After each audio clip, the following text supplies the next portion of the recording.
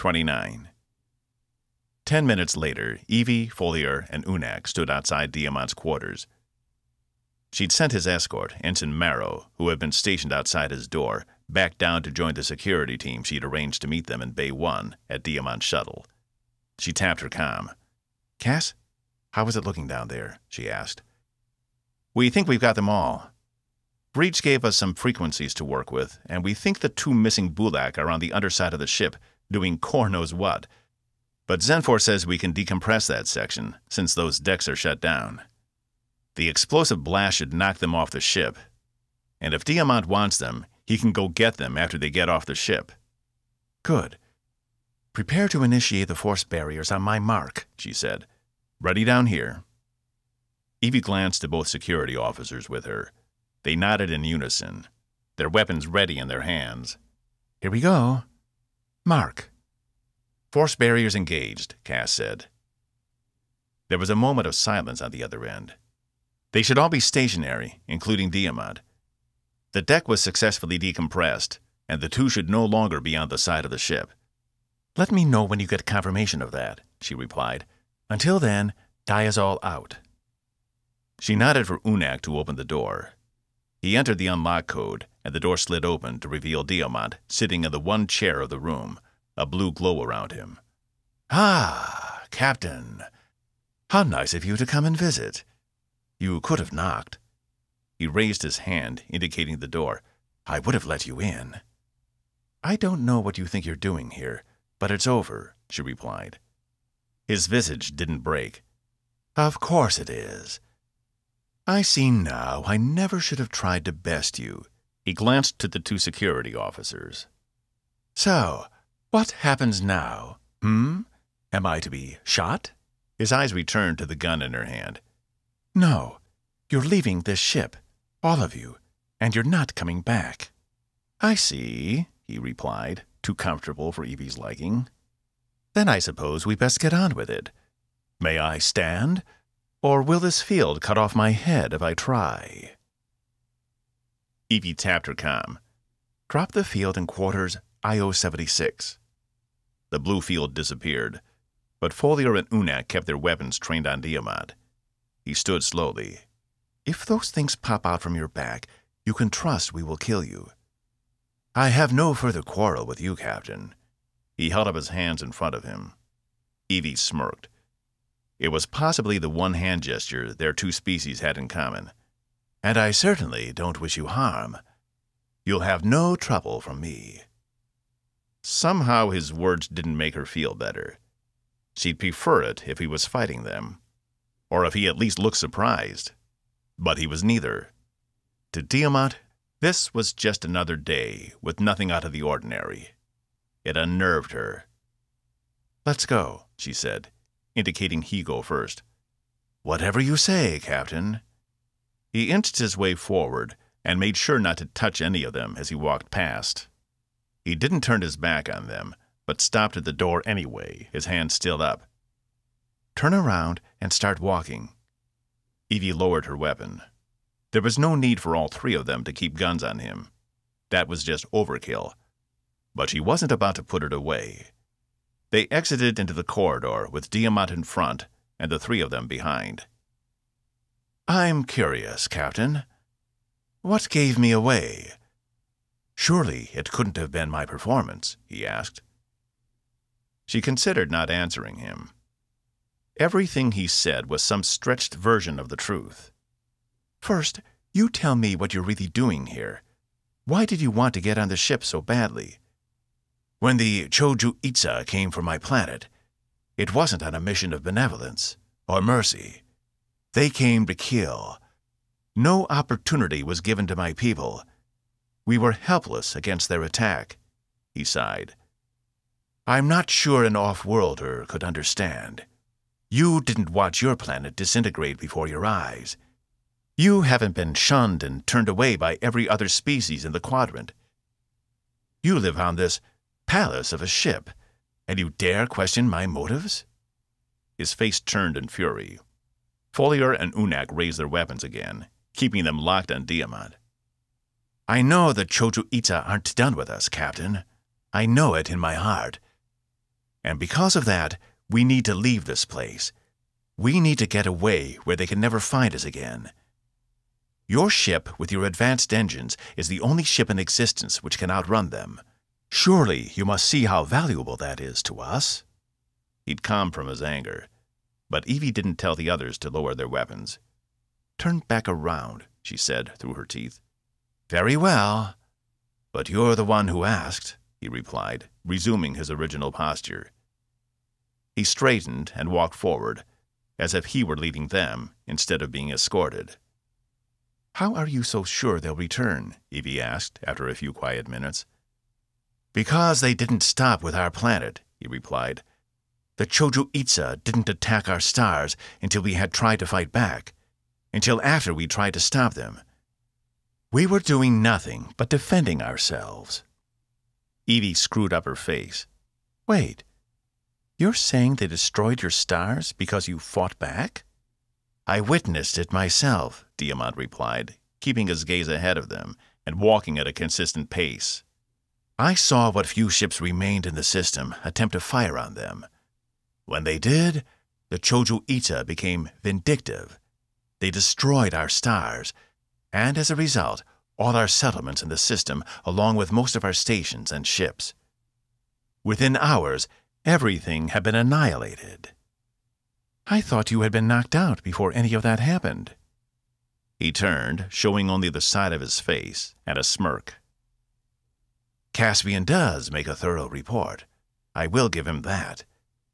And here I thought he'd been so high in Ossack he wouldn't remember. He paused. I don't tell the true tale to many, as they might get the wrong idea. But no, I witnessed it all. I witnessed the destruction of my world, my stars, and most of my society. Those who were out of the system at the time, they were the lucky ones. Evie felt a growing discomfort in her stomach. She couldn't help but feel bad for them, and she knew they were desperate but to try and steal their ship was unacceptable. If you'd been honest with us from the beginning, we might have been able to come to an agreement. Oh, come now, Captain. Don't tell me you'd have taken the time to ferry a bunch of nomads back and forth to a new home. It would have taken years. And from what I understand, you're on a schedule. We could have at least helped with the preparations, even helped you find a new planet as you originally suggested. What was your eventual plan? Control of the ship? She caught Foliar and Unak exchange glances. Temporary control, he replied, and your resources. But we wouldn't have left you destitute. My people know all too well what that is like. It isn't something we could impose on another culture. We would have taken your ship back to the hub, filled it to the brim with my people, and begun our search for our new home. And then, once we were there and settled, we would have allowed you to leave. Simple, though time consuming. She dropped her gaze. I wish we could have come to an understanding. I feel for your people, I really do. But deception and subterfuge are not the ways to get what you want. I regret we had to resort to such barbaric practices, but my people are desperate. And now, because of you, we will only become more desperate. By removing me, you are diminishing our chances for survival. She shook her head. My original offer still stands. You can have the supplies, and we will give you information to help you increase your food output on the hub, but nothing more. We just can't afford it. He clasped his hands in front of him. It's a very generous offer, Captain but I'm afraid it is too late. The trust between our people was broken the minute you pointed those weapons at me. If I gave in now, I would be accused of playing into your hands, and people would revolt. I must keep the peace, no matter the size of the sacrifice. He stopped and turned around again. The security officers held their weapons to him. You should feel honored. It isn't often someone manages to get the drop on me. Will you tell me now what gave me away? We found more than one set of mandible tracks on the outside of the hull, she replied. His head flinched back. But how? Realization dawned on him. Of course. Vreej's tracks are different than everyone else's. I should have anticipated that. He smiled and turned around again. You've caught me in a rare moment of weakness, Captain. I applaud you. No applause necessary. They were almost to the bay. She'd feel so much better once he was back on his own ship. Perhaps it would be a good idea to sedate all the Bulak before sending them back off. She should call Zax and get a medical team down here to administer it to each Bulak they collected. It would make the job much easier. Go ahead and take him inside, Evie told the two security officers. I'll be there in a minute. Yes, ma'am, Ensign Foliar replied, pushing Diamant forward. He still had a grin on his face Evie couldn't help but dislike. Despite everything, he was still toying with her. She glanced down to tap the com on the back of her hand when something hard rammed into her, knocking her to the ground and the weapon from her hands. Chaos erupted. 30. I don't like it. Laura paced the width of engineering. Cass watched her as Zenfor continued to work on the engine systems behind him, as did the rest of the engineering crew. That bastard is still hiding something. I know it. Like what? Cass asked. He has Evie plus two other guards escorting him. What else is he going to do? Besides, Diamant doesn't come across to me like the kind of person who gets his hands dirty. If he were going to do something rash, he'd get someone else to do it, and we have everyone else locked down. He, he, he's deceptive, Vreej said from the corner of the room. He'd backed into it and stood there, as if being smashed up against the walls was the only thing keeping his sanity. See? Even he agrees with me. Laura motioned to Vreej. I'm calling her. I gotta know everything's okay. And what are you going to say? Cass asked. I'll make something up about the weapon systems. She tapped the back of her hand. Captain, come in. There was nothing on the other end. Laura screwed up her face. Captain? Cass noticed an unease forming in his stomach, the kind that always came along when one of his courier missions was about to go south. He turned to Zenfor. Anything out of the ordinary on the sensor logs? I was just going over those. She glanced up to Sester, whose arm moved over to the primary sensor control units adjacent to him. He's worried too. There are anomalies in the system. Evie, come in, Laura said into her com. Maybe her concerns weren't misplaced after all. But how could Diamant have gotten the upper hand? She wasn't stupid, and she wouldn't have turned her back on him. Are the force barriers still holding? Cass asked. Zenfor moved over to another monitor to check. Yes. They're all still in place, and most, if not all, the Bulak are still under guard by one or more security officers. Which meant the frequencies Vreej had given them were accurate, and Diamant's people weren't still roaming the ship. So why did something feel wrong all of a sudden? Laura gave up and stared at him, her eyes accusing, as if to say, I told you so. Okay, fine. Let's go check, Cass said. Vreej, you come with us. I'm willing to bet you're better at hand-to-hand combat with your people than we are. He nodded again. They, they would, would slice you, you to ribbons. Laura's eyes went wide. We need to go. Now. She ran over to one of the supply lockers in engineering and pulled out a pulse rifle. Cass instinctively reached for his sidearm, but it wasn't there. It was in the security lockup on level 12 near the bays. He should swing by and grab it just in case. Try and figure out what's going on, he told Zenfor. Come us as soon as you have some information. She'd pulled up an image of Bay 1 where they were supposedly escorting Diamant. Everything looked normal as far as Cass could see, though Diamant and the escort hadn't arrived yet. What could be taking them so long? It wasn't that far of a trip. Are you coming, or am I doing this alone? Laura asked, already at the door to engineering. Cass and Vreej jogged to catch up with her. He wasn't sure if it was Laura's insistence, or the fact that his mind had been somewhere else while they all waited in engineering, but the hairs on the back of his neck now stood straight up. He turned to Vreej. Can I count on you to help us? Vreej tapped his chest twice, though he was clearly nervous. For a moment, he thought about calling Box as well. The extra muscle wouldn't hurt. As he followed Laura down the long corridors, Cass tapped his com. Yeah, boss, his friend said on the other end. Get down to Bay 1. I think we've got a problem here, he replied. Caspian problem or actual medical problem? A Bulak problem, he said, breathing hard as he picked up the pace. Laura was fast. Caspian problem, then. Shall I bring the bazooka or the grenade launcher? Just get down here. We're on our way. He ended the transmission. Grenade launcher. What had he been watching now? Wasn't Zax supposed to be keeping him too busy for net dramas? As they ran, Vreej's mandibles extended out, and in front of him, almost like protective blades. Cass really didn't want this to get bloody, but as he studied the gleaming metal blades, he could see how they might easily slice a person in half. This could go bad fast. They took the nearest hypervator down two levels to 12, but in their haste, Cass didn't even bother veering off toward the weapons lockup. It was too far away, and between Laura and Vreej, he was confident they had enough weapons. When they arrived in Bay 1, it became clear to Cass that they had severely underestimated Diamant's cunning.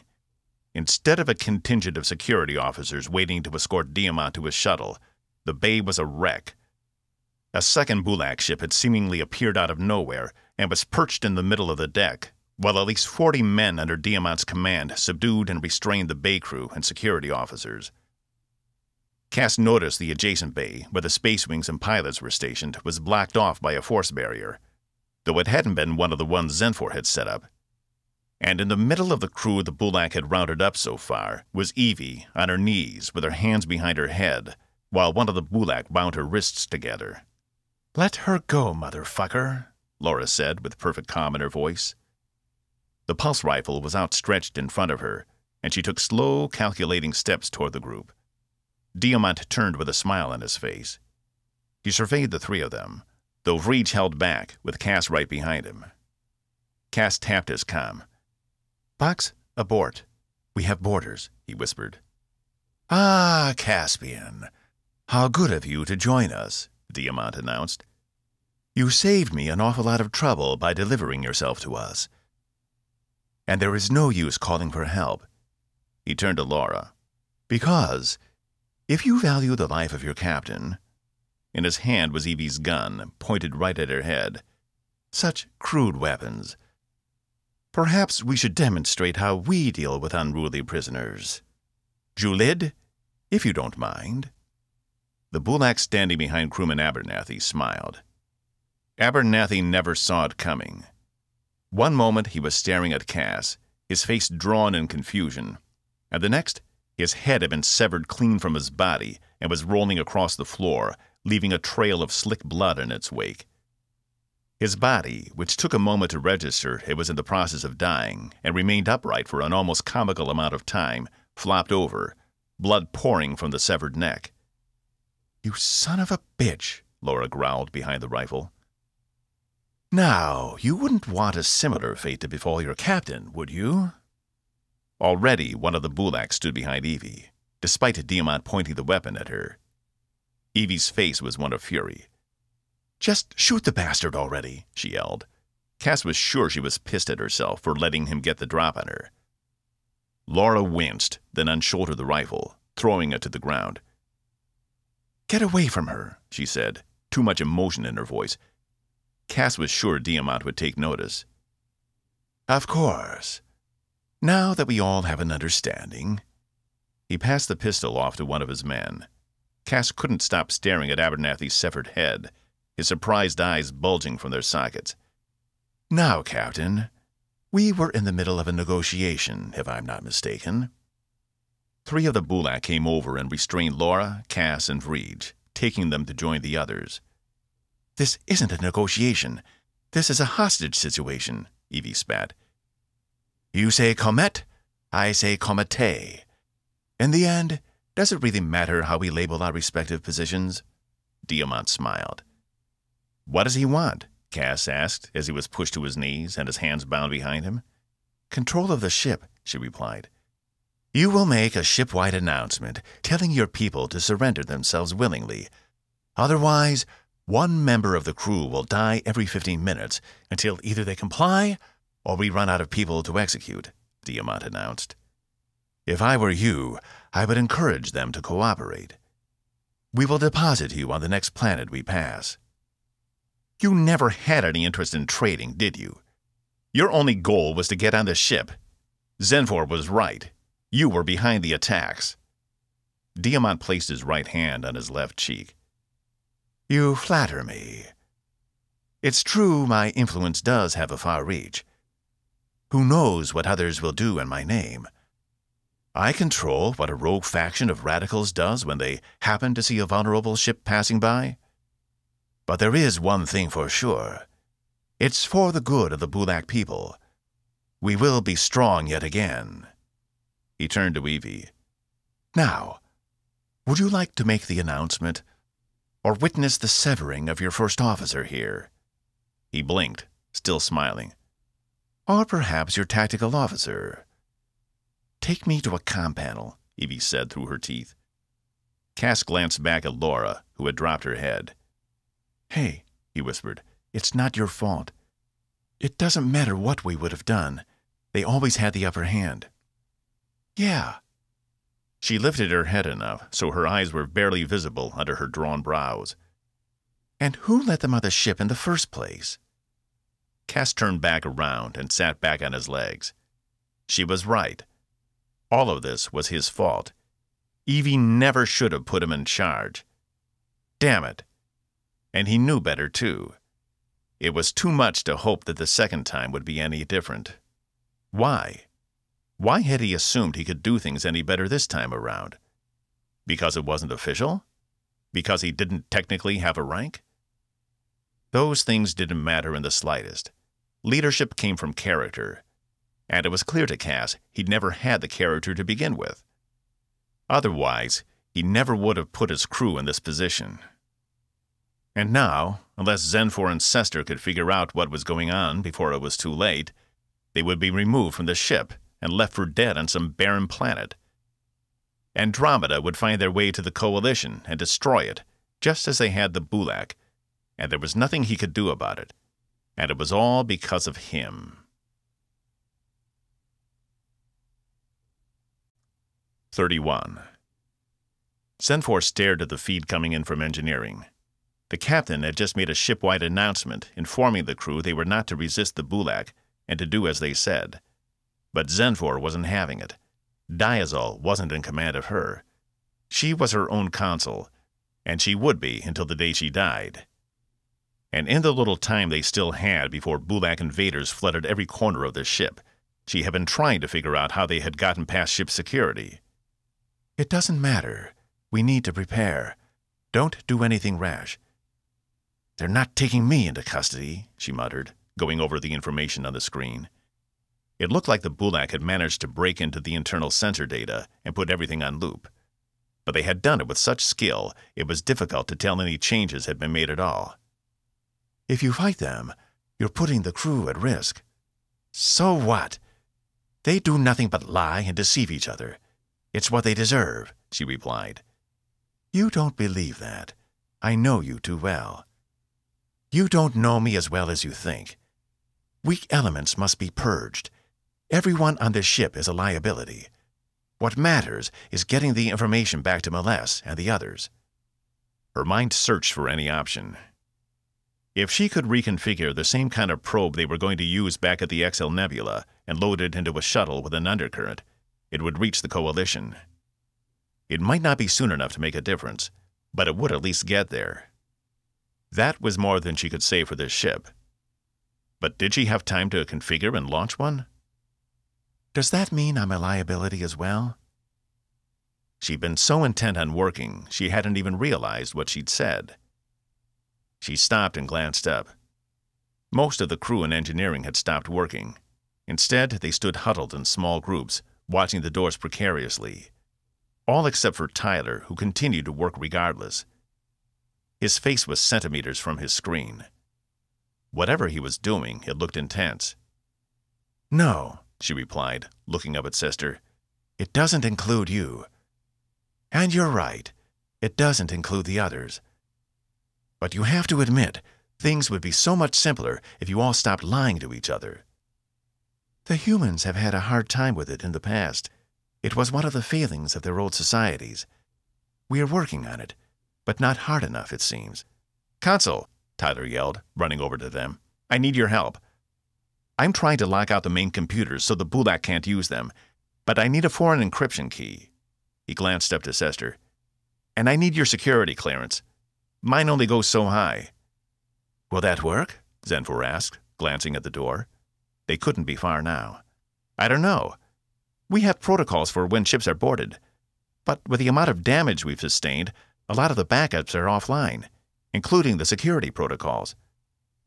That's not from the damage, Zenfor said. The Bulak did that on purpose. We need to lock out what we can before it's too late.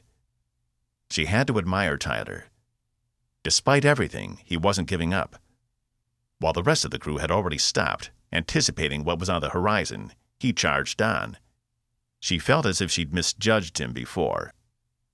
The door to engineering rolled away, revealing a dozen Bulak, half with pulse rifles and the other half brandishing nothing other than their back mandibles. Zenfor had the immediate urge to rush them and begin tearing them limb from limb. No, we can't put the others in jeopardy. I know, I know, she muttered. She'd been too late. There hadn't been enough time to even load a probe with their data, much less launch it. She watched the Bulak spread out, taking each person individually. One with its mandibles out approached her and Tyler. You come with me. You, he pointed to Tyler, stay here. Zenfor flexed her fist. Just how hard were their skulls? Could they take the full impact from a Sil fist? especially one that had been trained using the ancient fighting technique, Kailocution? She really wanted to find out.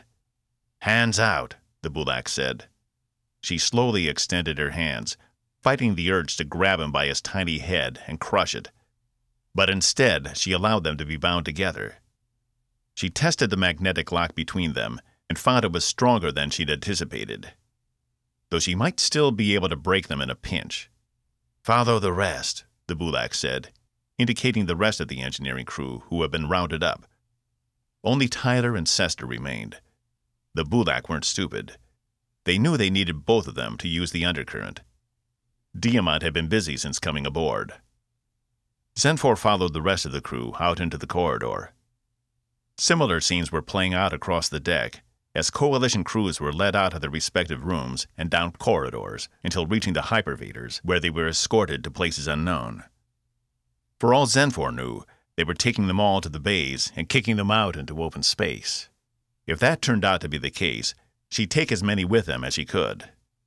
It turned out to be a short trip, up one level to nine, where she and three of the other engineering crew were let out. Zenfor noticed one was Ensign Jackson, the same idiot who'd interrupted her goodbye ceremony with Meless.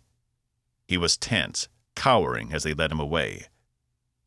The two Bulak guarding them escorted them down the corridors until they reached the brig, which already had a few occupants, including the robot and the doctor.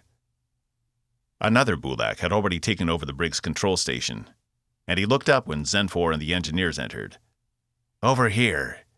He wants them all in one place, he said, indicating Zenfor and the others file into the leftmost brig. It was a space built for one or two at the most, not four, and though they weren't cramped, it wouldn't be comfortable. Once they were inside, the Bulak raised the barriers. Zenfor noticed the cell beside her empty, but in the next cell over stood some of the bridge crew, Lieutenant Zal, Uma, and River, the navigator. She didn't see the helmsman. Just as the two Bulak who'd escorted them here left, the door opened again to reveal the captain, Caspian, Lieutenant Yamashita, and Vreej all being escorted in where they were stored in the middle unit. Behind them was Diamant, a big smile on his face. There, he said. Isn't that more comfortable? The force barrier went up, sealing the four of them inside. They looked unharmed as far as Zenfor could tell. I expect you to keep your word, the captain said her eyes never leaving her captor. Captain, I'm insulted. Are you insinuating I might not be telling the truth? he asked, his mock sarcasm dripping. It made Zenfor want to rip his head from his body. No more of my crew has to die, Diamant. Promise me that. If they behave, everything will be fine, he replied. Despite what you might believe, I have no quarrel with you. You just happen to be in the wrong place at the wrong time. But I am going to get what I need for my people, one way or the other. He surveyed all of them. If we have any problems, I know where I need to come and ask. Rest assured, the remainder of your crew will be waiting in your cargo areas under heavy guard. And your elite space fighters are safely contained in your other shuttle bay. As long as we have an understanding, there will be no problems. He clasped one hand over the other fist and bowed, then turned and left with the other Bulak. Only the one manning the control station remained. Yeah, and stay out, the robot yelled. Are you okay? Cass asked, staring at Zenfor. Fine. Were all your materials worth it? Stop. We're not going to bicker in here, Captain Diazol said. We're all in the same situation. We needed parts, and Cass found them. It just happened that he brought back some unwanted guests at the same time. She stared at the Bulak, who only smiled back with nothing but smarminess. Great. So now what do we do? Lieutenant Yamashita asked, slumping down on the small bench in her cell. We don't do anything, the captain replied. We can't risk harming the rest of the crew. We don't have much of a choice. Zenfor turned in frustration, staring daggers at Jackson, who'd sat on the small bench in their cell. He saw her and jumped up, moving aside. She slumped down to the seat in his place, crossing her arms. Nothing like this would have ever happened on a Sil ship. If it detected a person they didn't want aboard, that person was ejected into space. However, if the person required a trial, they would be kept, as Caspian was. But here there were no trials, only actions. It was so uncivilized. And it only made her miss home more. As Cass watched Zenfor sit in the other cell, he couldn't help but think about how he was the world's worst repeat customer. All of this could have been avoided if he hadn't been so adamant about finding the Bulak and helping them. He still found it hard to believe Diamant was just doing this for his people. Was this really the best way to go about trying to find more resources? Had they not come upon the Bulak, would Tempest's crew have resorted to similar tactics to get what they needed to survive? He supposed it made sense. Looking out for a new planet would give them a lot of opportunity, but how many planets could there be that didn't already have some kind of dominant species? In Cass's experience, if a planet was habitable, it had at least one occupant. Some planets had many, many more. He glanced over at Evie, who had the most dejected look on her face. He couldn't even imagine what was going on inside her head. But without asking, he knew it was because she blamed herself for this, for not being able to get out of it like Green might have. He hated he'd caused her to question her ability to lead this ship. All this was his fault, not hers. Hey, he said, standing beside her. He could feel Laura's eyes in the back of his neck, but he didn't care. Evie didn't say anything, only acknowledged him with a glance. So, what's this awesome plan you have to get us out of this? Her eyes narrowed. What? I figured you had some mastermind plan you'd come up with in the past five minutes that would save the ship. You know, something easy? She dismissed it with a shake of her head, but there was a tiny smirk at the end of her lips. I don't know what to say. It was nice of you to defend me, but this really is my fault. I never should have brought them aboard without your authorization. I guess the first officer title doesn't exactly fit anymore. She eyed him. Why? Because you made a bad call? Didn't you ever make any bad calls working on the Hartford or the Atlas? Was every decision you made the perfect one? Because that's remarkable. He shook his head. You know that's not the case. She considered it. Maybe. But if you hadn't done what you did on the Atlas, you'd be dead along with the rest of the crew right now, right? And Rutledge would still be out there experimenting, or trying to at least. What are you saying? This is a blessing in disguise? She scoffed. No, absolutely not. I'm just saying we need to make the best of a bad situation, whatever that means. It was clear she was struggling to keep it together for the crew. There had to be something they could do. Cass glanced around the cells, then at the guard by the door. His eyes hadn't left them, and Cass wasn't sure how good his hearing was, but he didn't want to take any chances. Dejected, he took a seat beside Laura, but his eyes landed on Vreej's belt, and it all became clear. 32. Cass stood and turned his gaze to Box, who looked like he was scrawling something on the far side of his cell's wall. Cass cleared his throat, and Dr. Zax glanced up, but Box remained oblivious. Cass slid his eyes to the guard, who had taken an interest in something on the station's console. He nodded to Zax to get Box's attention, which she did by tapping him with two of her four hands. I'm drawing here. Box scrawled with the tips of his fingers. She hit him harder. What? he yelled, turning around. Can't you see I'm trying to design a more efficient sperm delivery system? See, this here is the flagella, and this is the pore stamen, and this goes into this, like so. The guard perked up at the noise, his eyes now on Box.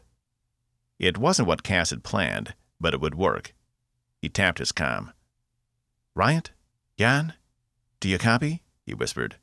This is Ryant, the reply came through. Evie perked up. Remember you told me about that training run you guys did on Takar? I think it'd be a good idea to do that again. There was a pause on the other end. Are you serious? What about... Don't worry about the details. Just be precise. Very precise. Ryant coughed. Yeah, okay. Maybe 20 minutes. There's something we have to do first. My freedom of speech is being suppressed, Box yelled. I can draw whatever I like. Cass glanced up to see the guard had walked over to Box's cell and was yelling something at him, to which Box was yelling right back.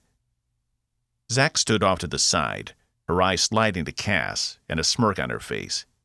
He nodded in appreciation. Call when you're ready. Robo out. He cut the com. What was that about? Evie asked. We might not be sunk quite yet, Cass replied, but the margins will be razor thin. He turned to Vreej. Hand over your skin curtains. Do I even want to know what that is? Laura asked, leaning away. They're like our repel fields, only better, Cass said.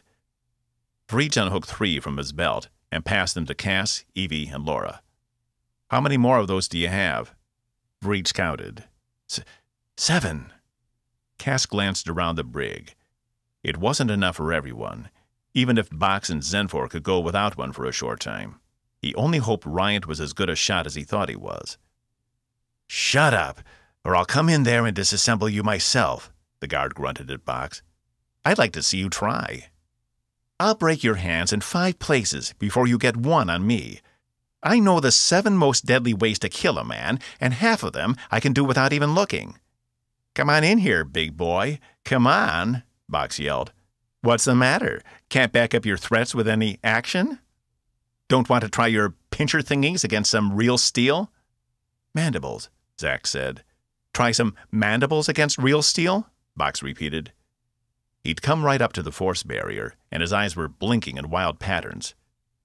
Cass couldn't tell if it was all for show, or if he really did want to take on the guard. For all his bluster, the guard wasn't taking the bait.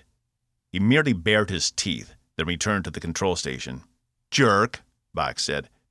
You put me in a confined space, I'm going to draw in it. He returned to his erotic drawing. Cass turned his attention to Zax. How did they grab you so quickly? She shook her head. I'm not sure. A couple of them came in, threatening us, just after the captain's announcement.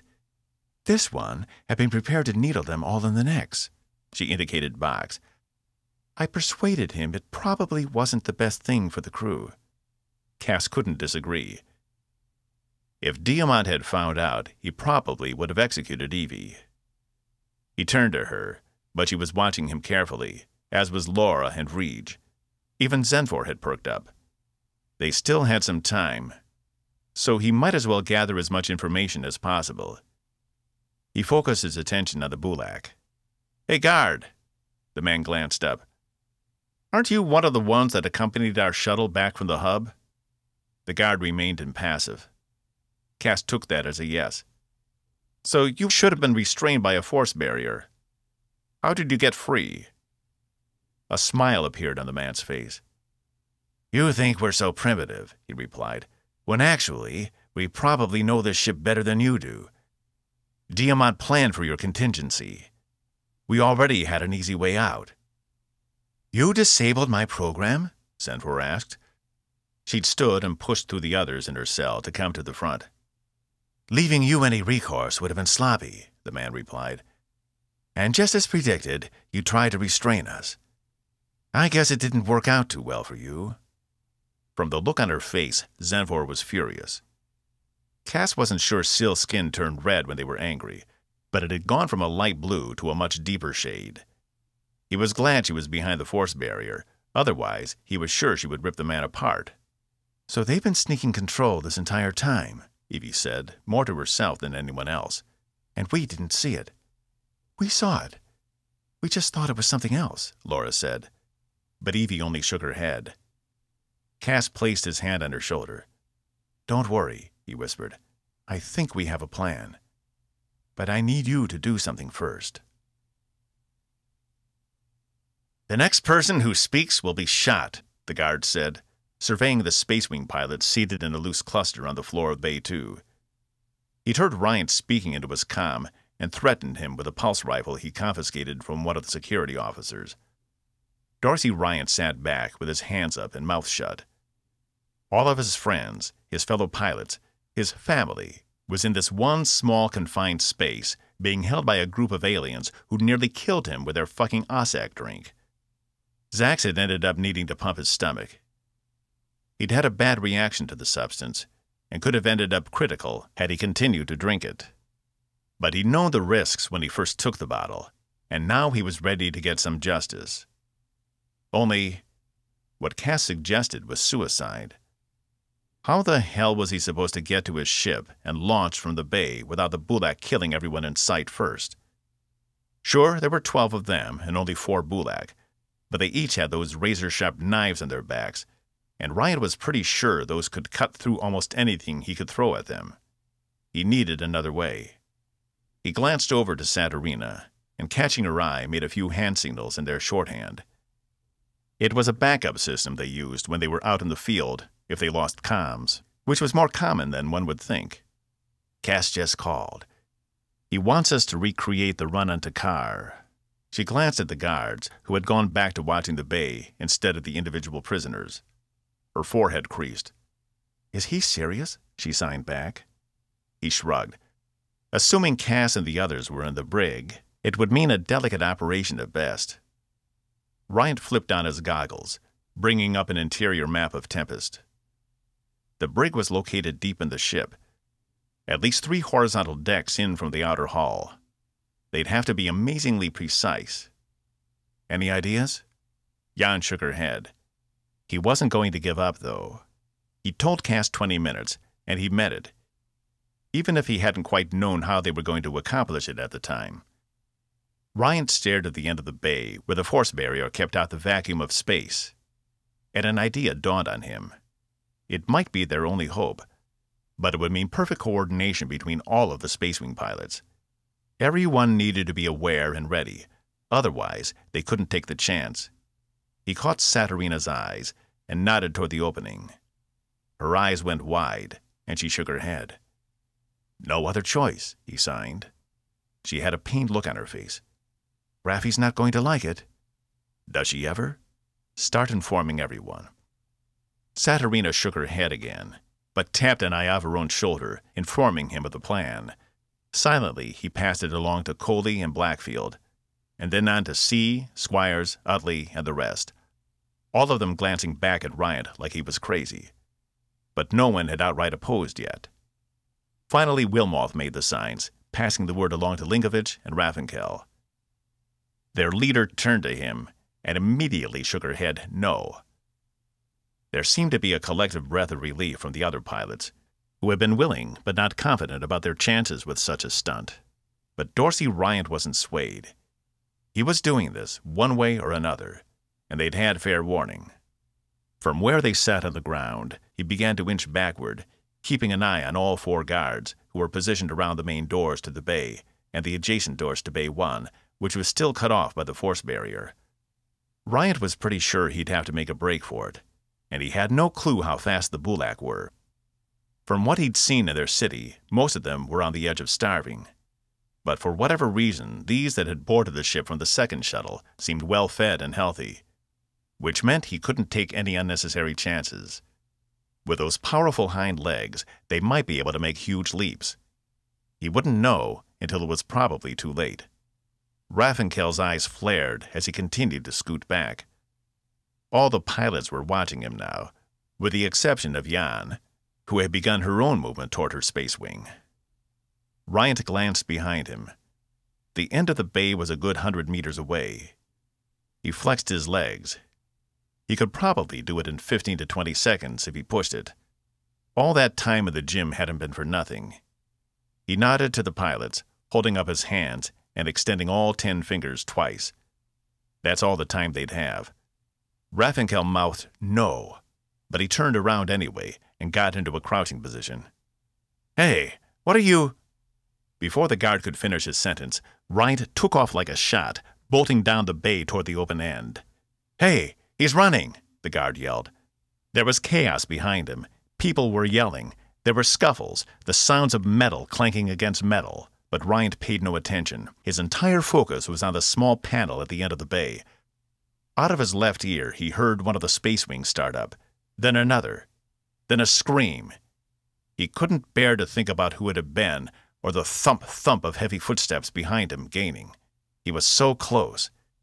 He skidded to a stop right at the panel before something heavy and solid ran into him, knocking them both over as they hit the force barrier at the end of the bay. Beyond, there was nothing but empty space, but Ryant's focus was on the Bulak who chased him down. His sword-like mandibles were out and already coming around to slice into him when Ryant sucker punched the Bulak, sending his head back and a spray of maroon blood flying from the alien's nose. He winced, and the mandibles stopped, his focus on his face. Ryant punched him again before he had the chance to recover, and the man fell off to the side in serious pain. A lot tougher than you thought, huh? He stood and entered the code that would drop the force barrier, exposing the entire bay to open space.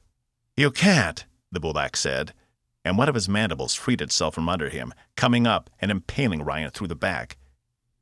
He glanced down to see the mandible hadn't gone all the way through, but he felt the warm rush of blood spill from his back. Surprisingly, there wasn't a lot of pain. Either it was the adrenaline, or getting stabbed didn't feel much worse than being punched.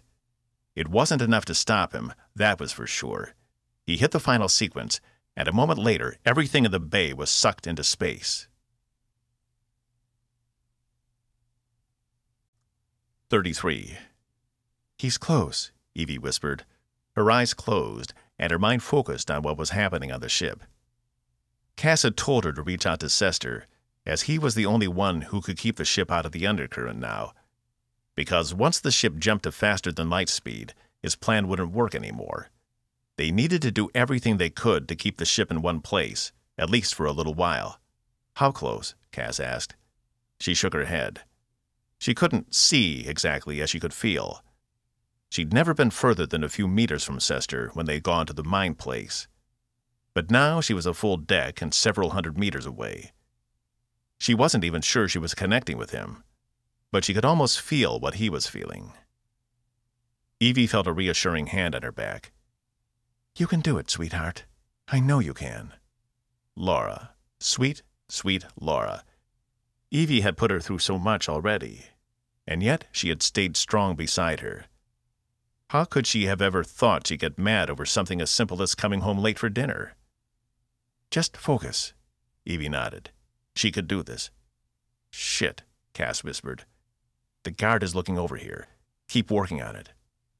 She sensed he'd left her side while Laura continued to rub her back supportively. Hey, Cass yelled. I have a medical condition. I need to see my doctor. He's over there in that cell. That's right, Box yelled back, turning from his drawing. I'm his doctor. I've got everything that ails him. I need to administer medicine. I'm not stupid, the guard replied. You're just going to have to suffer. Boss, it looks like he doesn't believe you, Box said, goading the guard. It was difficult for Evie to concentrate. Don't worry about what they're doing, Laura said. Just focus on Sester. Nothing else matters. Her hand slipped from Evie's back and took hold of her hand instead. Evie smiled, but kept her eyes closed. Laura was wrong. This mattered. She took a deep breath, filtering out the obscenities Box was now hurling at the guard. All her thoughts were focused on Sester and his physical position on the ship. She could do this. She just had to concentrate. Slowly, the world around her seemed to melt away, and Evie opened her eyes to find herself back on Sisk, standing in the middle of the desert. A lone figure stood a few meters away, turning to reveal himself to be Sester in his human form. Captain? he asked, frowning. How? Did you bring us here? She surveyed the area. I guess I did. I focused really hard. But that's not important now. We need you to keep Diamant from initiating the engines. That won't be easy. He's had all his people down here working on repairing our issues. The Bulak are fast and efficient, I would dare say our engines have never worked so well. Zenfor might even be able to get her drive back up and running. Sester, do everything you can to keep the ship in one place. If we move, everything is lost. Is Diamant there now? He shook his head. No, he's on the bridge. But there are others here in his place. I can sabotage the engines, but they'll know it was me. They might take it out on Lieutenant Tyler. I think that's a risk we'll have to take, she replied. Hopefully, they realize they need Tyler as much as they need you. We'll be as fast as we can. I promise we won't leave you there alone with them. He considered it a moment. Very well. I trust you, Captain. She smiled. Thank. The scene dissolved around her, and she was back in the cell, Laura still gripping her hand, while a cacophony of consonants and vowels flew through the air with fury. My pet Rulak had a face like yours. I'd shave its ass and teach it to walk backward, Box yelled. You're nothing but a niffle-eating cummerbunch. Box, I think he's got it, Cass said. Evie turned to see Box back at the edge of his cell, his yellow eyes blinking like wild as the insults flew from his mouth. The guard wasn't having it, though it was distracting him from Evie's cell. Cass turned back around. Good? She nodded. Then I'd say we're about ready. He turned to Vreej. How do we use these things? Vreej pointed to the top of the small canister. Hold down on the top, and it takes care of the rest. Fifteen minutes supply of uh, oxygen. Hopefully we won't need that much, Cass said, palming the device back into his pocket. He checked his com for the signal, then shook his head. Evie really hoped everything was okay in the bay. She hadn't been happy about this plan, but they were out of options, and Cass said Ryant was confident he could make it work. She'd gotten in contact with Sester, so now all that was left to do was wait. She glanced at Laura and gave her hand a squeeze, grateful they were in this together. Here, Cass said. The com at the back of his hand blinked. That's the signal. Activate them now. Evie let go of Laura's hand and fished the small canister from her pocket. She held the top and at once felt a strange shudder up her back. She didn't feel much different, though when she reached out to touch Laura, her fingers stopped just millimeters from her shoulder. B Better hold on to something, Vreej said. Evie nodded, grabbing one end of the bench in the brig. She glanced over to Zenfor, who stood at the edge of her own cell, with her arms crossed and her attention focused on them. This was either going to work great or they'd all be dead in the next minute. There was really no way to tell. Just as Evie saw the guard notice they had all taken strange positions in the cell, the back wall exploded in what should have been a blast that would have killed them all. But instead of blowing into the cell, the wall itself and the concussive energy was sucked backward, along with all the air in the cell itself. An alarm blared in the brig as Evie and the others were jerked toward the hole. Vreej lost his grip, but his mandibles extended, holding him on the plating as the air was completely emptied from the room. She checked the rest of them. Everyone seemed unharmed. She turned to see Box yelling something, but couldn't hear a thing anymore. She tapped her personal com. Okay, let's go, she said. The other three nodded, and they all floated through the hole into the next section of the ship. Behind them, lights continued to flash, but Evie knew the guard wouldn't drop the field. That small amount of magnetic separation was the only thing keeping him alive, though he'd surely be making a call to Diamant. The three corridors separating the brig and the outer hull of the ship had been expertly blown away, creating a tunnel they could travel through. Evie hadn't been worried about anyone in those sections because all the crew were in the cargo holds, and thus anyone unlucky enough to be in those sections when the space wings blew into them would have been Bulak. As she grabbed a charred piece of bulkhead to pull herself forward, she didn't feel an ounce of pity for them. Not any more. They reached the outer hull to find at least eight, if not more, of the space wings attacking Tempest herself. Ryant? Ryant, come in, Cass yelled into his com. One of the space wings flew alongside the opening. It was Captain Jan's ship. He's been injured, she replied. I got him back into Bay 2 and repressurized it, but he's going to need medical attention, fast. Shit. Zax and the rest of the medical personnel were still locked up in the brig. They'd have to move fast to regain control of the ship. Just keep them occupied, Captain, Evie said. We'll take care of the rest. And good work. She turned to them as a space wing peeled off to re engage the fight. If Tempest's weapons weren't at full capacity yet, they soon would be. And if the Bulak fixed the auto targeting, they wouldn't last long out there. How do we get back inside the ship?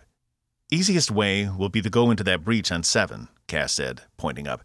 Then we're only one level above the bridge. She nodded. And how do we keep from floating off into nothingness? As if to drive home her point, the ship shook with a blast from a space wing. Hang on to, to me, Vreej said. I can, can get you there. His mandibles extended from his back, punching small holes into the bulkheads around him. Cass reached out and took his hand. Laura took Cass's, and Evie took Laura's, forming a chain. Vreej's mandibles walked around the edge of the bulkhead to where they were outside of the ship. He moved quick, each puncture a measured step designed to cover the most ground with the smallest amount of effort. The ship shook again, but Vreej held down without a problem, headed for the open section on 7. It had been a long time since he'd been on a spacewalk, and then it had been in a full enviro suit. Nothing like this. She'd never felt like she could reach out and touch the stars before. The mine had blown out a series of 11 separate crew quarters on this level, and even now it was easy to see the remnants of what hadn't been sucked into space when the mine hit. A few tables and other personal items which had been magnetized or bolted down still remained, but otherwise everything else was gone, including some of the walls separating quarters from each other. Evie could barely stand to look at it. Vreej brought them into the relative safety of what little overhang remained as they approached one of the doors that would open to the outer corridor. But it wouldn't open without a security override, and they could still be offline. Evie could only pray the Bulak were thorough, that if their real goal was to take this ship, they wanted it operating in perfect condition, which meant fixing every broken system. If they hadn't, she wasn't sure what they would do. Armor's up, Cass said, glancing back. Evie followed his gaze to see he was right. The space wings weren't having as much success anymore. Many of them had pulled away to get out of the line of fire. Evie could see Jan's ship was still heavily engaged in battle. Just get us inside. The best thing we can do to help them is to get to the bridge and retake control, Evie replied. Cass hovered over the control unit to the door, tapping in his override code. The door slid open, but a blast of air knocked them all back. Had they not been holding on to Vreej, they would have been blown out into space. Vreej, grimacing, pulled them with both hands, and using the mechanical mandibles, shot forward through the blast of air until they were on the other side. Once inside, he clamped down to the wall and floor bulkheads as they tumbled back toward the opening. Cass reached over and shut the doors, closing off the suction. As soon as they were closed, the four of them collapsed against the walls. You, you can deactivate your curtains now, Vreej said, sitting up. His mandibles had folded back behind him. I think I'm going to throw up, Laura said. Let's not do that again. Come on, Evie said. We need to put an end to this. 34. The entire time they ran through the corridors, all Cass could think about was Ryant down in Bay 2. How bad had he been injured? And was it too late? He needed to find a way to get a medical team down there, though there were probably a dozen Bulak between them and the bays. Here, Evie said, after they'd run a long length of corridor, coming to the door to her quarters. It opened upon sensing her personal pattern, and she brought them inside. Cass was surprised they hadn't run into any Bulak yet, though they were probably trying to figure out what had happened to them after leaving the brig. As soon as they got eyes on the outside of the ship, they'd see Vreej's marks leading them right to level 7. They didn't have a lot of time.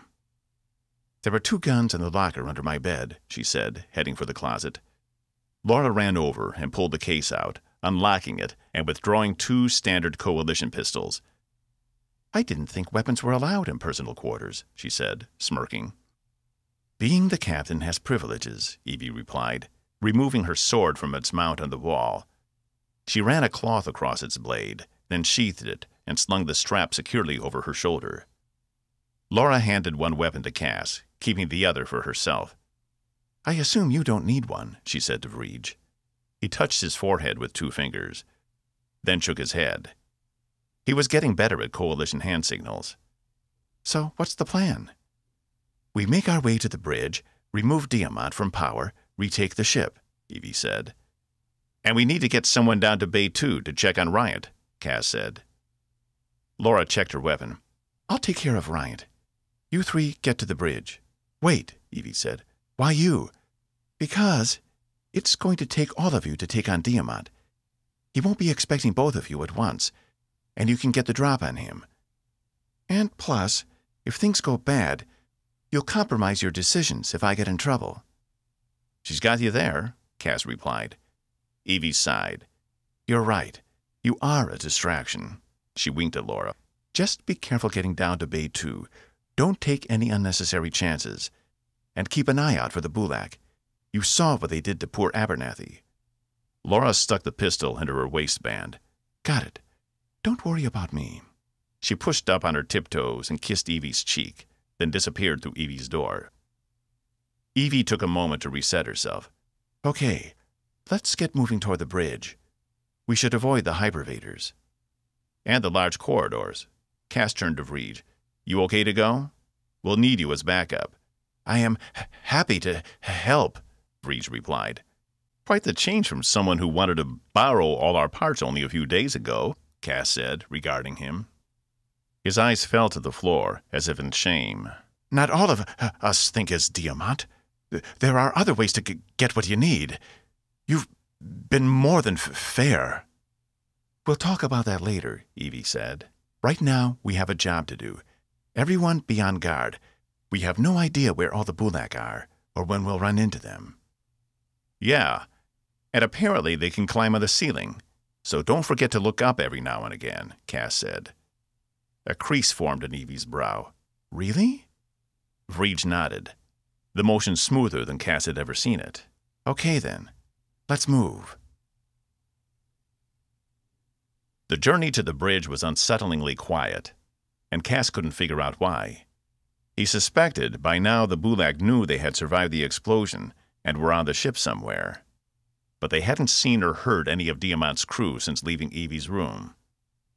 She kept her sword sheathed, but remained alert, managing to find one of the access corridors close to the stern of the deck.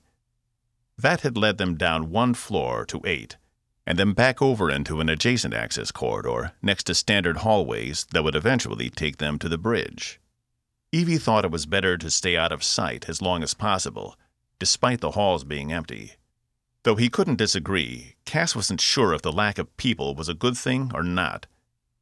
On one hand, it could indicate Diamant was short-handed and didn't have enough soldiers to keep every area under surveillance. But on the other, it might signal he was expecting them and prepared to spring a trap. It was impossible to know until they got there. Here, Evie said, crouching low as not to hit her head. This junction connects to one more that will take us right beside the conference room off the bridge. Vreej, when we arrive, can you use your mandibles to cut through the bulkhead to give us access? He nodded, a smile on his face. He was happy to help, and Cass couldn't blame him. After everything Diamant and his people had put the man through, Cass would want to see revenge at almost any cost as well. And he'd want to take part in that revenge as much as possible. Okay, moving on. Stay low, stay quiet, and cut through that bulkhead as quickly and with as little noise as you can. She picked up the pace through the cramped access tunnel before turning a corner and then turning one more. She stopped, pointing at the wall. She then crawled further along while Vreej squeezed past Cass. He hadn't been close enough to tell before, but the man had a clinical smell to him, like antiseptic. Cass wasn't sure if it was his natural pheromones or it was something artificial he'd added himself. Regardless, Cass held his breath. The scissor like mandibles extended out from Vreej's back, cutting into the bulkhead beside him, creating an opening just large enough for them to crawl through. Once he was done, he backed out of the way to allow Evie to step through first. She checked both sides before disappearing through the hole. Cass followed, with Vreej right behind him. The conference room was in the same condition as always. There was little, if anything, out of place. Okay, Evie whispered. We'll have to make this quick. Cass, you go in and get the jump on as many as you can. Hopefully, he doesn't have a lot of crew up here. Whoever you can't cover, Vreej, I need you to detain. I'll come in behind you and take Diamant. Cass glanced at her sword. You mean you're going to stab him? Whatever it takes, she said. Her eyebrows drawn so low he could barely see her eyes. He took my ship and killed Abernathy. He's not getting away with it. He had his chance to leave. That doesn't square with the Coalition Charter. She withdrew her sword. A lot of things don't. Cass hadn't realized just how upset she'd been at this whole situation. He couldn't exactly fault her for feeling betrayed and used, though. Diamant had played all of them. And while Cass was fed up, he wasn't to the point of killing the man. But maybe she was right. Maybe this was what it took. Maybe they all had to adapt. Ready? she asked. He and Vreej nodded. Go. Pistol in hand, Cass charged through the door connecting the conference room to the bridge. His first impression was he'd done exactly what he'd meant to, catching everyone on the other side off guard. But then he saw Diamant with his own pulse pistol in his hand, aiming it right at Cass's chest. Almost as if his brain predicted something else, Cass saw the pulse shoot from Diamant's pistol in slow motion, his brain telling him this wasn't how it was supposed to go, that he was supposed to be the one shooting them, and his eyes were deceiving him. The blast from Diamant's pulse pistol hit him square in the sternum, the pain causing him to collapse behind the specialist's console as the world sped back up. Cass hit the ground, holding the wound with one hand while still gripping the pistol with his other. The pain was intense, debilitating. He wasn't even sure how much longer he'd survive. He'd never been shot in the chest before. I'm afraid your efforts are in vain, Caspian, though I applaud you for escaping from your own brig. I've been doing some reading, and understand you've had some history with prisons. Having your people blow a hole through three corridors just to get you out was inspired. There was laughter in his voice. Cass could see the edge of Vreej's silhouette on the other side of the still open door, and he shook his head. Before he'd fallen, He'd seen only two other Bulak on the bridge, one at the helm position and the other at tactical, probably coordinating the fight against the Space Wings. Evie had been right. Diamant was short-handed. It was an even matchup. Or at least it had been before Cass had stupidly gotten himself shot. He adjusted himself, and with a great deal of pain peered around the side of the console itself. He might still be able to take down one of the other two even if he couldn't get Diamant himself. How'd you know? Cass said, breathless. The person at Tactical had his own pulse pistol as well, and though he was holding it, his attention was focused on keeping the ship safe. I'll tell you what. A tale for a tale. I tell you how I knew, and you tell me how to get the engines back online, Diamant replied. I guess it's good to know you don't know everything, Cass replied, honestly relieved his plan had worked. I don't need to know everything, only the things that matter. Like I know you're not alone, but your friends are smart enough to stay out of my line of fire, he replied.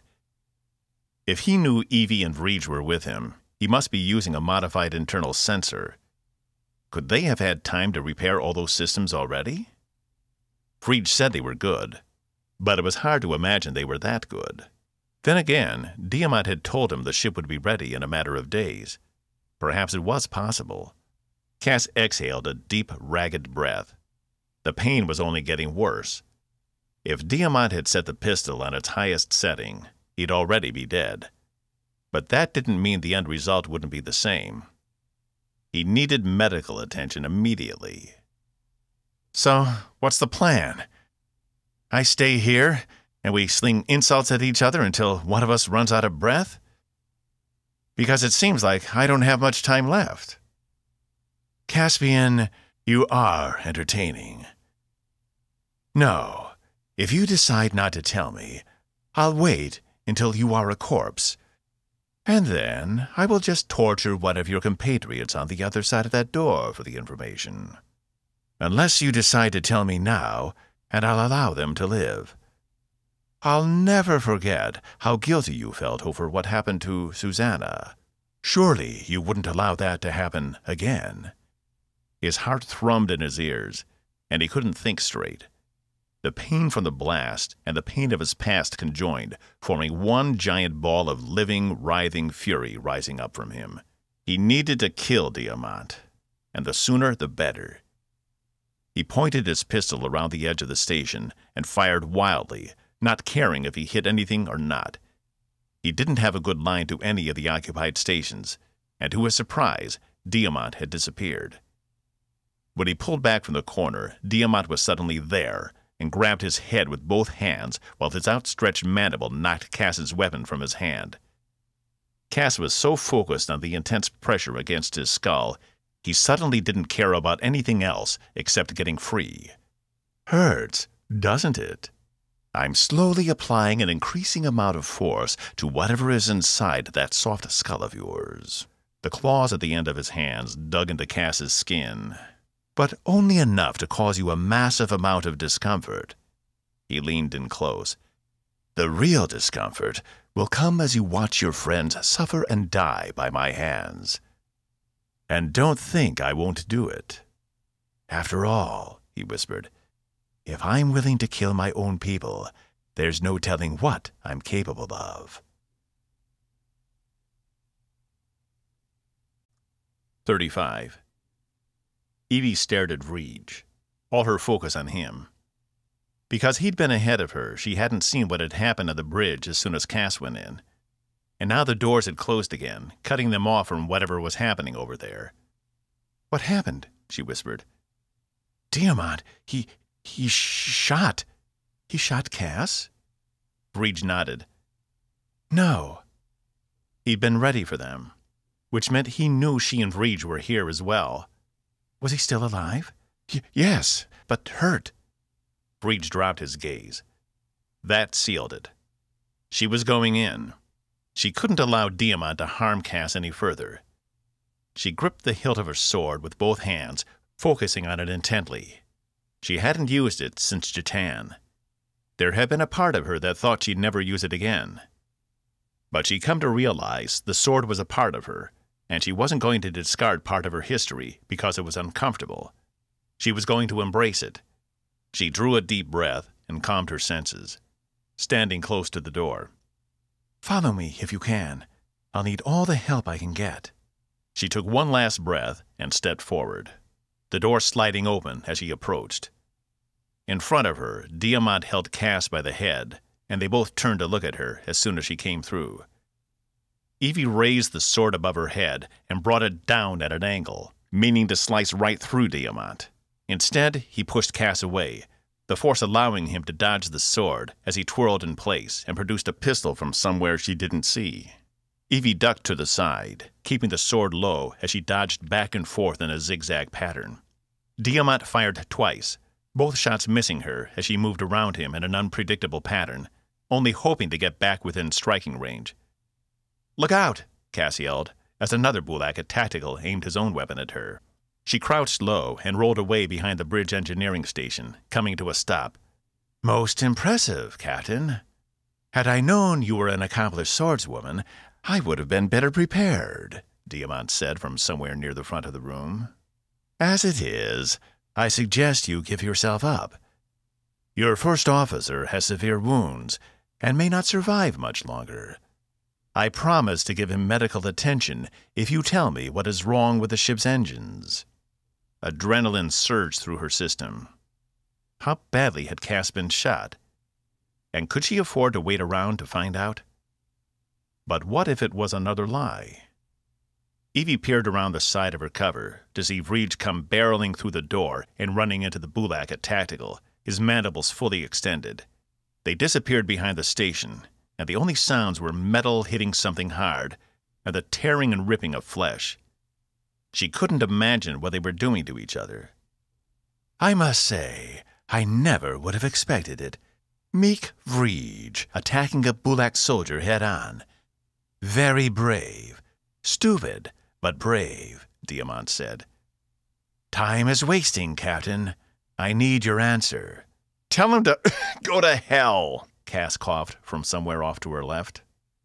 He must have crawled behind the specialist station for cover. Did he still have his weapon? A weapon blast permeated the air, and Evie glanced around again to see Diamant at the far end of the room with a smile on his face and the weapon outstretched. She could just make out Cass across from her behind the other station. She gripped the sword tighter. I suggest you make your decision quickly, Captain. You and I may have all the time in the world, but poor Caspian does not. She, she doesn't need to make a decision, Vreej said, standing from behind the tactical station. He was covered in cuts and wounds, as well as a generous amount of maroon blood, but his face was set. Diamant's visage cracked for just an instant as he realized Vreej had been the victor against the other Bulak. He turned his weapon on Vreej, but didn't fire. You are not our savior. You are nothing more than a weak man who makes others do the hard work. Diamant's face twisted into a smiling sneer. Now, Vreej, why would you say such a thing about your old friend? We, we are not friends. Vreej stood his ground with his mechanical mandibles extended. The one had been shorn off halfway along its length. The other Bulak hadn't gone down without a fight. You, you won't kill anyone with that. D- don't forget. I kn- knew you before all this, a- and under all your d- deceptions, you're just, just a scared little boy. Without flinching, Diamant placed the end of the pistol to the head of the Bulak who was in control of the helm and fired. The man didn't even have a chance to register what had happened before he slumped over in his seat, dead. Evie was too shocked to move. What did you say about not doing the hard work? Diamant asked. The problem, Vreej, is you don't know your old friend as well as you thought. Evie kept her eyes on Diamant. He had the gun trained on Vreej again. You weren't there. You didn't see those monsters destroy everything we held dear. And when it was over, and I realized I had survived, I made sure I would never find myself in a compromised position again. Vreej took two steps forward, and Evie thought she saw Diamant's hand shake slightly. His mandibles were still folded behind his back. I'm not afraid of you, Vreej said. N- not any more. You should be. As I told the late Caspian over there, I am willing to do anything to ensure the survival of our people, even if it meant killing a few in my way, starting with the crew of my ship. You, you didn't. I couldn't very well put myself in a position of influence if someone of higher rank than me survived, could I? he asked. The question being the first genuine thing Evie thought she'd ever heard from him. History is written by the survivors, and that's what I am. It's what you are. We can make it like old times again. Help me, and we'll both be hailed as heroes of our people. You're not a hero, and neither am I, Vreej said. Evie noted, stutter free. Diamant's eyes went wide, and Evie saw her chance. She rounded the station out of cover and kept the sword low, only swinging it as she rushed into Diamant's personal space. He leaned back, the blade only catching the pistol, slicing it clean in half and taking two of Diamant's fingers with it. He screeched in pain as his mandibles unfolded from his back and began to parry Evie's attacks as she tried to cut into him. Vreej joined on the other side, but with only one mandible, its effectiveness was halved. Even at two against one, they were evenly matched, as Diamant fought with both his bloody fists and his natural blades. The moves were hard and hurried. Evie would strike as hard as she could, but Diamant's mandible would block the hit, knocking the sword away as the mandible moved to strike her. It was like sword fighting with two different people, because as his mandibles blocked the main hits, his hands, with their sharp claws, scratched and reached for her and Vreej, sometimes clipping them as they fought. In her periphery, Evie tried to see Cass, to make sure he was still alive, but she couldn't see him behind the station. She only hoped he could hold on a few more minutes. But her distraction caused her to miss a strike from Diamant, which sliced into her abdomen, producing a rush of warm blood over her uniform. She winced, but didn't withdraw, instead fighting harder to get a good blow in. She only needed one.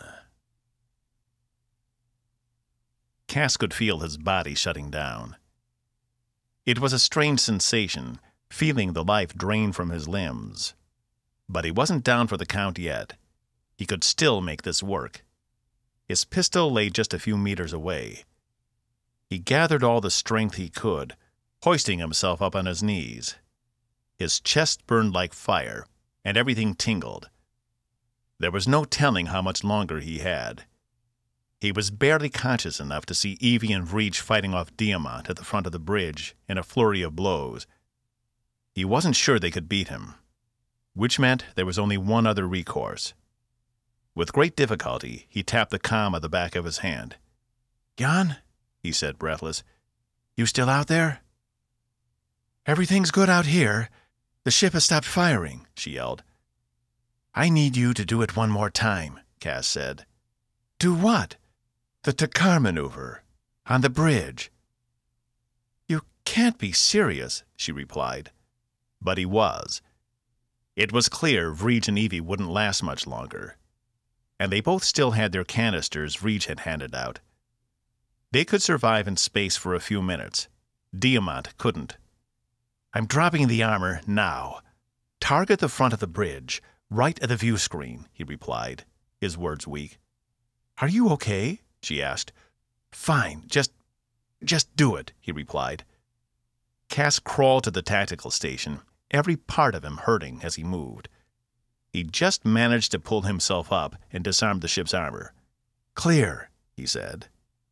Diamant grunted as he was hit with an onslaught of blows, but Cass was too tired to care. He was too tired for everything. All he wanted was to sleep. He couldn't believe this was how it was going to end after everything. With what little strength he had left, he pushed himself fully upright, feeling as though he would pass out any second, though he didn't. Use, use your canisters, he yelled, with as much force as he could. He noticed Evie catch his eye. She ducked and rolled away from Diamant's mandibles, and Cass noticed she left a sizable trail of blood in her wake. Once she was out of range, she shoved her sword into the floor, holding its hilt as she reached into her pocket. There was a massive explosion at the front of the room, and for a second Cass thought Jan had miscalculated and destroyed the bridge and all of them with it. But then the main viewer disappeared into the darkness of space, and the dead Bulak at the helm followed it, along with anything that wasn't secured down on the bridge. Vreej managed to dig his one mandible in the floor and hold on, as did Evie, her head down and grip on the end of the sword. Diamant had also shoved his mandibles into the ground and had managed to resist being pulled away, though the force of air ripping through the space was intense. Cass, having expected it, had lowered himself down behind Tactical so that he wouldn't be pulled away. but he'd activated the skin curtain in his pocket just in case. Surveying the scene, it was clear Diamant wasn't going anywhere unless he did something. Wrenching himself around the console was harder than he anticipated, especially since all the strength had left him. Somehow he managed to pull himself around and felt the harsh pull of decompression yanking him toward oblivion. All he had to do was line himself up and release. As he flew toward the opening, his body barely on the ground, he pivoted just enough to miss Vreej and slam into Diamant's surprised face, grabbing him as the force knocked them both through the opening into open space. Once all sound had left him, Cass pushed Diamant away, watching the man tumble along with the same inertia. Tempest growing small in the background. This was okay with Cass. He'd gotten Diamant off the ship, and he disabled it so the Bulak couldn't use it.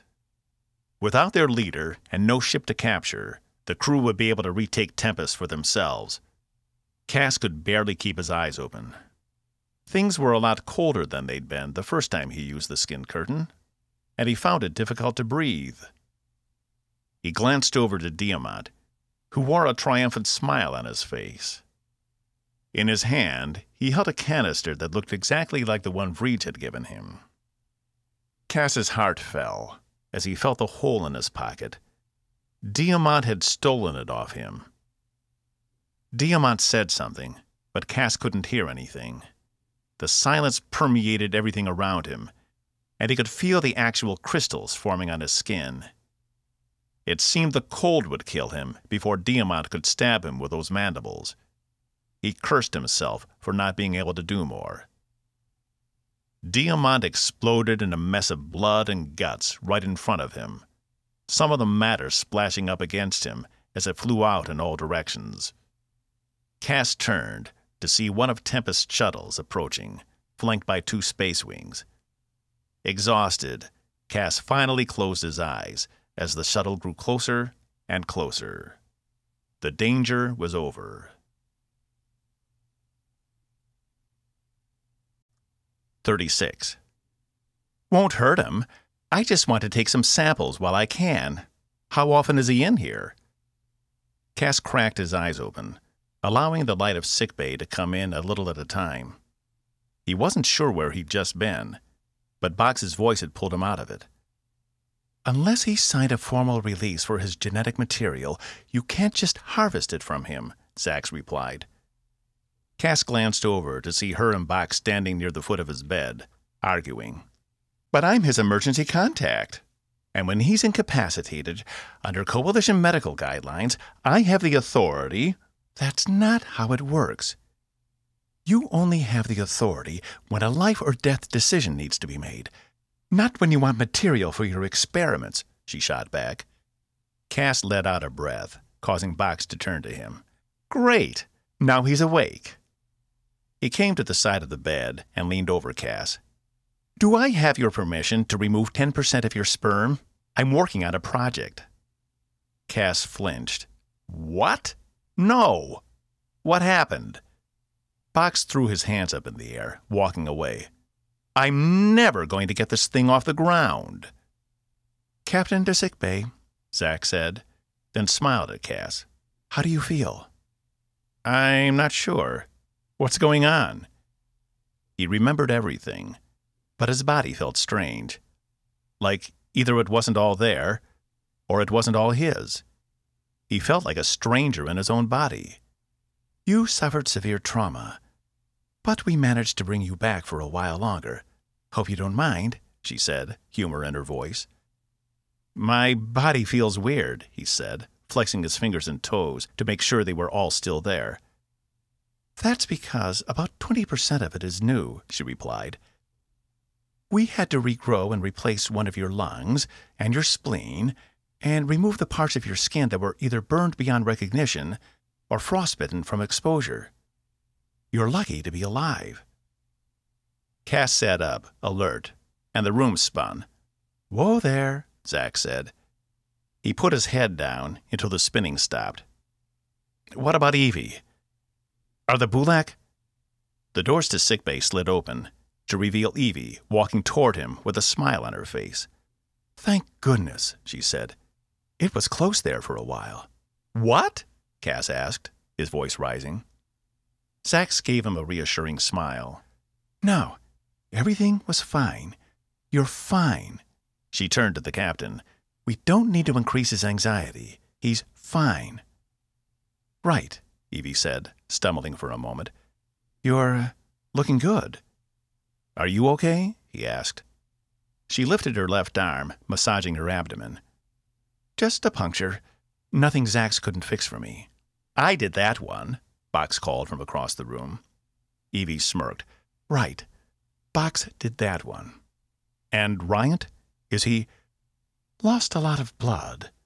But Lieutenant Yamashita and the others reached him in time. He's fine. He's already back to work in Bay 2, Zax replied. Evie either saw Cass's confused look or decided to explain anyway. Instead of heading straight for Bay 2, Laura returned to the brig first, taking out the guard and releasing the prisoners there.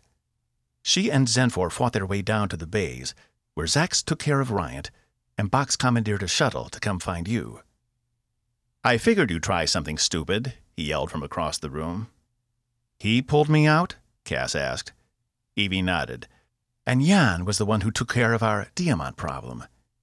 He snatched the skin curtain right off you. Queasiness bubbled up in Cass's stomach. Can we please not call it that? He swallowed, making sure it wasn't coming back up. How could he do that?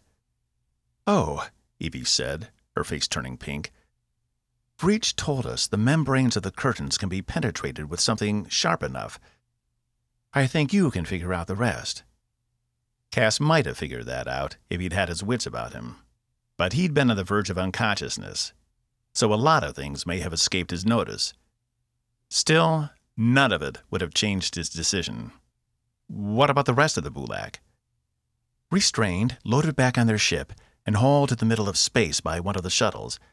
We weren't taking any chances. But with Diamant gone, the fight seemed to go out of them. Is everyone else okay? She nodded. For the most part. Her demeanor darkened. But we need to talk as soon as you're well enough. There's a lot to fill you in on. She turned to Zax. When? Another few hours. I want to make sure all the new organs have integrated without rejection, and everything is functioning as normal. Human bodies react differently to unconscious and conscious states. Evie turned back to him. As soon as you're cleared, meet me in my quarters. The bridge is under repair. Cass nodded noting he didn't hear any blame in her voice for what happened to the bridge, despite he'd been the one who made the order. Her eyes lingered on him a moment, and then she was gone again. So, Box said, approaching, now that you know I've saved your life, I think you owe me a little favor. He held a syringe with a small bottle attached to the other end. Spread 'em. Zenfor stood at the doors to engineering, debating whether to enter or not. She was strangely nervous to face him again, after everything that had happened. She hadn't been back since when the Bulak had come and escorted them to the brig. She had been so full of emotions then, going off about how terrible the coalition was, and how everyone on the ship deserved what they got, when in reality she was frustrated with her own performance, or her inability to execute. She hadn't seen the Bulak modify the sensors so they couldn't be seen taking the captain hostage. She hadn't been able to set up a backup system to take them down when they took over the ship. She was a failure, and she didn't want to face the one person on the ship whose opinion actually mattered to her. She'd never been one to back down from her failures before, but those had been different. This was something more. She felt like she'd let him down, and that was a difficult position for her to stand in. Taking a deep breath, Zenfor walked back into engineering, ignoring the rest of the crew. She didn't care what they thought, and they could watch and gawk at her or not.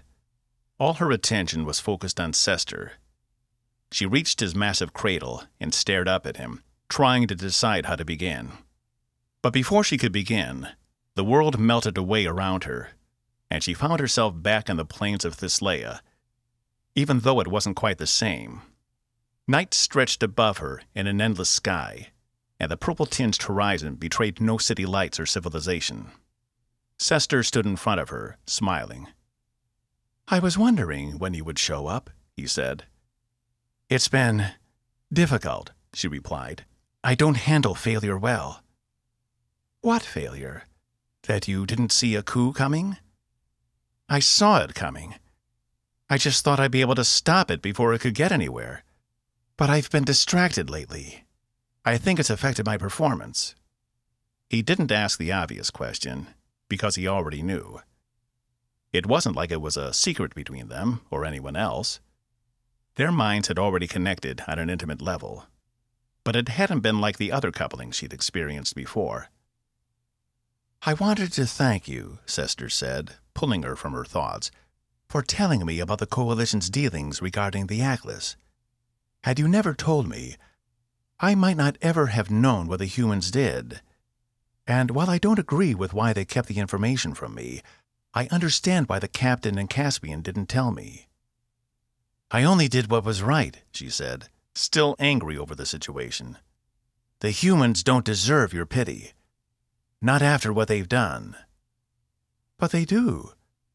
Their species is still young, and they need our guidance and our help. We must be patient with them, as parents are patient with children. They'll learn one day, and then our futures will truly flourish. She scoffed. You give them too much credit. Maybe, but not all humans are alike and I feel we must evaluate each other on their own merit. Because of your actions, my relationships with many of the humans on this ship have already improved. I have you to thank for that. Zenfor smiled. For what it's worth, you're welcome. I can't tell you how grateful I am to have a kindred spirit on this ship with me. I agree, he replied. There was a moment of silence where they just stared into each other's eyes. Even though Zenfor knew she wasn't really looking at his physical form, she felt as if this was his true self. His astral self, as it were. And that was good enough for her. Did the captain speak to you about her plan yet? Anticipation and dread arose in her, both in equal amounts. She did. I'd be interested to hear your thoughts. She couldn't say she was disappointed necessarily, but it seemed like an extreme measure, at least for the time being. But things on the ship were dire, and if they didn't do something drastic, none of them might survive. I'm on board, Zenfor replied, as long as we do it together. 37. Cass tapped the small button beside Evie's door Zax had discharged him not more than 20 minutes prior, and he'd taken a short detour to grab fresh clothes from his quarters. When he made his way over to this side of the ship, he couldn't help but think about Reach leading them across the hull of the ship. He'd never experienced anything quite like it. Come in. The doors slid open to reveal Evie at her desk, her sword back on the wall behind her. It looked pristine as ever. Feeling okay? she asked, looking up. He still felt weird. Even walking around knowing he had new organs inside him was enough to make his new skin tingle. It was almost as if all his body wasn't his anymore. But he clamped down the feelings. Fine. What's the emergency? He took the seat across from her. The ship is in bad shape. And even though we have all the materials we need to repair her, the repairs are going to take some time. A long time and we've only got about a week of life support left. What? Cass asked, almost shooting up out of his seat. She shook her head. When Diamant and his men were repairing the ship, they also built in a couple of fail-safes. One blew the entire life support system to hell. Zenfor and Sester are working on it, but it's going to take longer to repair than we have. What about the shuttles? Isolating part of the ship off? Something? She held up her hands. We've already been over all that. We can keep minimal life support running for a while, but not for the entire crew. We're going to have to set down somewhere until we can make repairs. You mean land the ship? I don't think. No.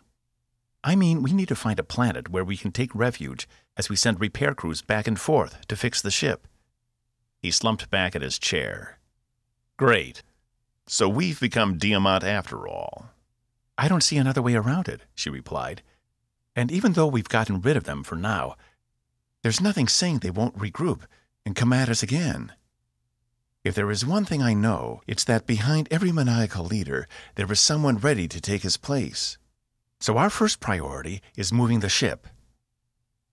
I just don't understand how they were so many steps ahead of us the entire time, Cass replied. Breach told me it has something to do with the way his people can determine intention. It extends beyond their own species. But someone has to be trained to recognize it for what it is, and not just one's own mind talking to itself. I'm willing to bet Diamant was an expert, and he read us as easily as someone could read a book, knowing what we wanted and how we wanted to get it.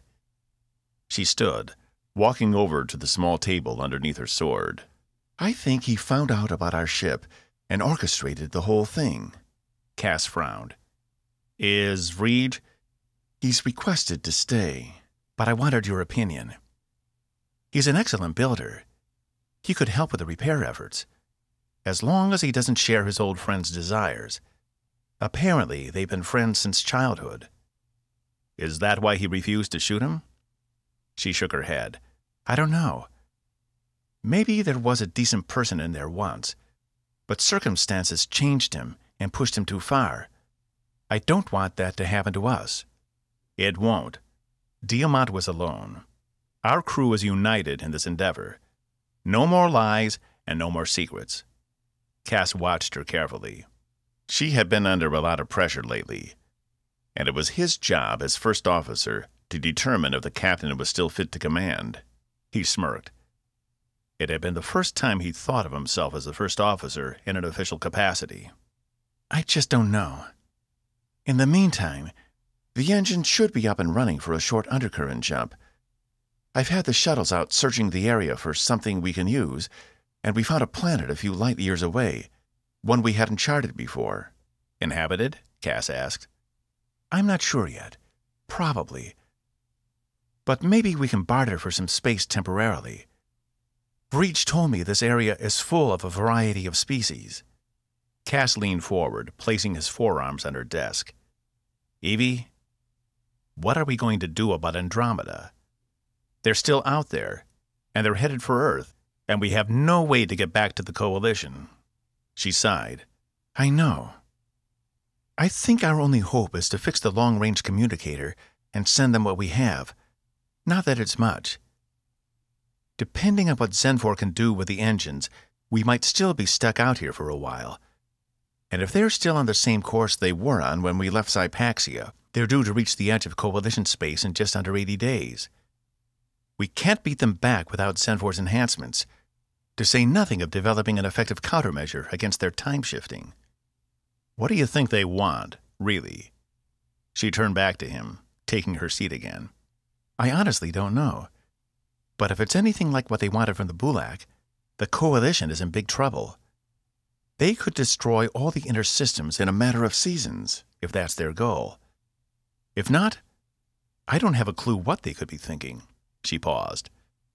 But that isn't our primary concern at the moment. It's my responsibility to protect this crew, so that's what I'm going to do.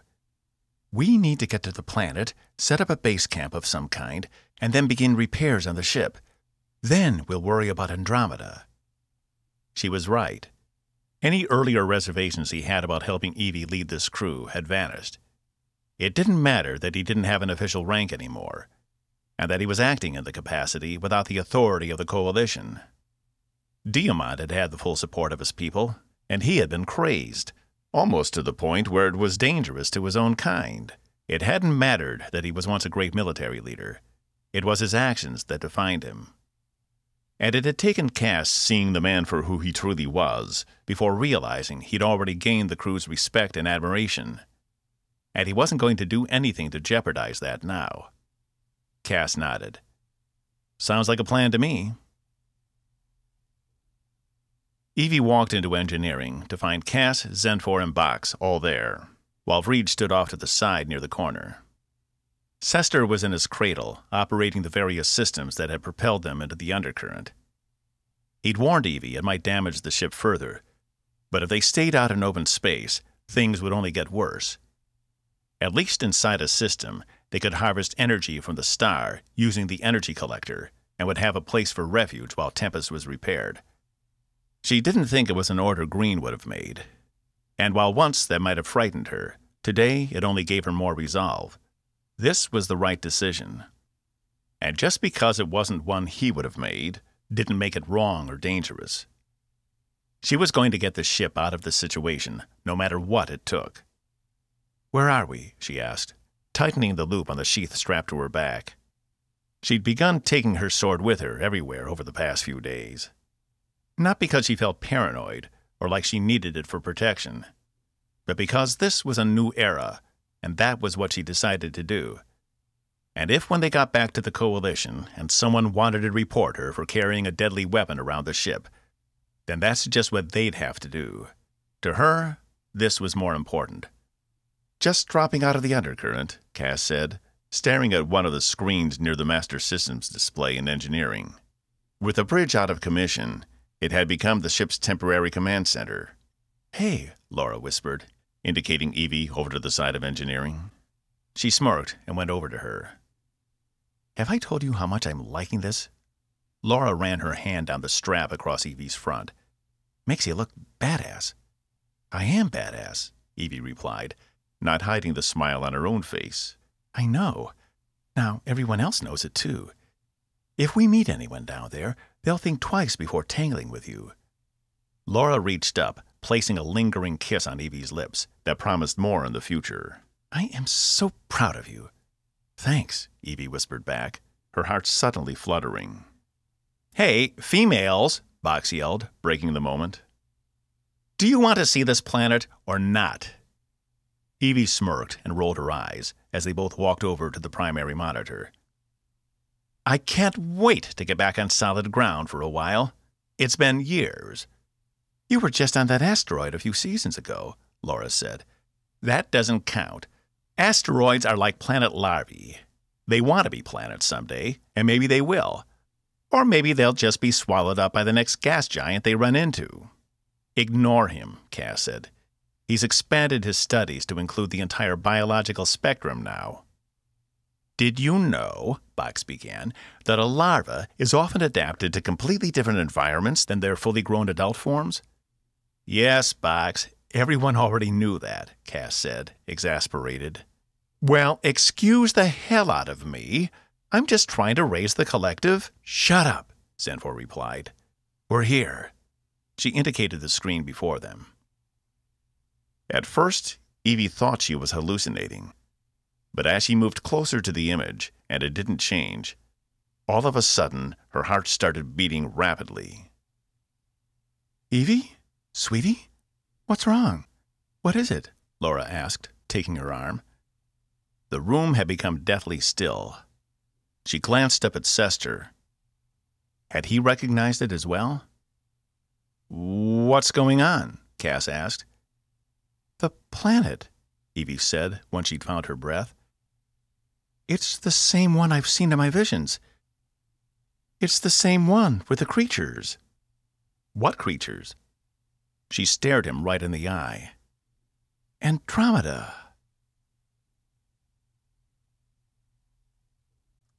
This has been Secrets Past, Infinity's End, Book 5, by Eric Warren. Narrated by Larry Gorman. Copyright 2019 by Eric Warren. Production copyright 2020 by Eric Warren.